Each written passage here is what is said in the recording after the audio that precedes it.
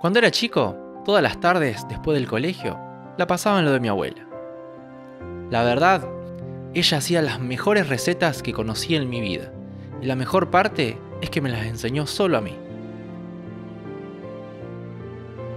Y si te preguntás cuál era su secreto, ese secreto indispensable siempre fue uno. Su legado sigue vigente, y no solo lo disfruto yo, sino también todos quienes eligen mis delicias llenas de dulce de leche.